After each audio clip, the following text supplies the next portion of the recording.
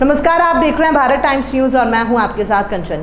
KD gate, पत्ती बाज़ार स्थित कुछ अवैध बिल्डिंग जो कि शासकीय ज़मीन पर बना डाली, उसको लेकर मध्य प्रदेश युवा शिवसेना।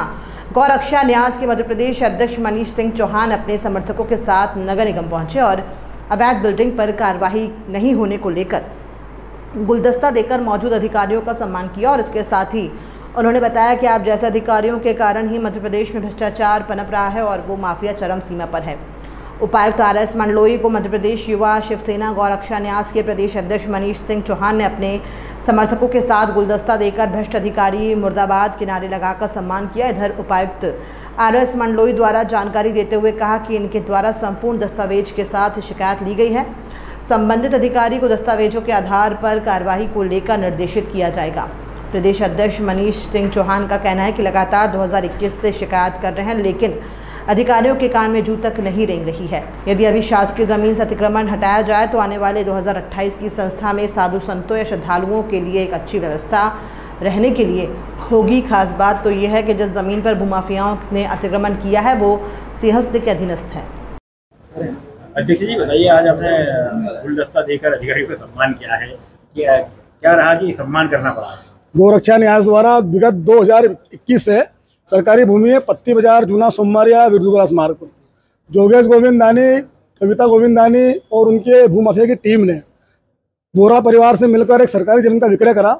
हमारे द्वारा लगातार निगम में लगभग चार साल से मैं सबूत के साथ शिकायत दी गई। कोई कार्रवाई नहीं होने के कारण आज हमारे संगठन ने सोचा कि ऐसे महान अधिकारी को हमने आज सम्मान पत्र देकर सम्मानित कराया गुलदस्ता भी दिया, उनको धन्यवाद भी बोला है कि आप जैसे अधिकारी जब तक उज्जैन में रहेंगे तो ऐसे भू माफिया रोज पनपते रहेंगे, क्योंकि वो जब भूमि अगर मुक्त होती है तो शासन को उसका लाभ होना है, निगम को उसका लाभ होना क्योंकि डीएम साहब के वहाँ पर अभी हमने 10 तारीख को रजिस्ट्रार ऑफ़िस का भी घेराव करा था।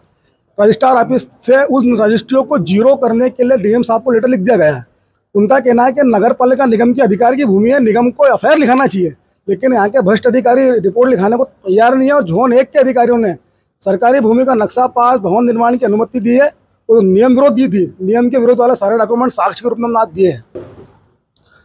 2028 में महाकुंभ आने वाला है और ऐसी ज़मीन है, वो ऐसी बिल्डिंग है, अगर उस पर नगर पालिका निगम कोई भी भवन बनाती है तो आने वाले सिंहस्थ के अंदर श्रद्धालुओं के ठहरने की व्यवस्था के अंदर बहुत ही उपयोगी हो सकता है, क्योंकि वो नदी से पास में लगा हुआ है और वो बेल्ट जो सर्वे नंबर है, वो सिंहस्थ बेल्ट के अंदर भी आता है।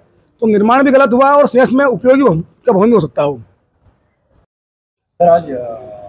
रक्षा समिति वालों ने ज्ञापन दिया है, क्या मांग है? शासकीय भूमि पर कार्रवाई नहीं करने के संबंध में नगर निगम आयुक्त के नाम से मध्य प्रदेश युवा शिवसेना गौरक्षक न्यास द्वारा एक ज्ञापन प्रस्तुत किया गया है।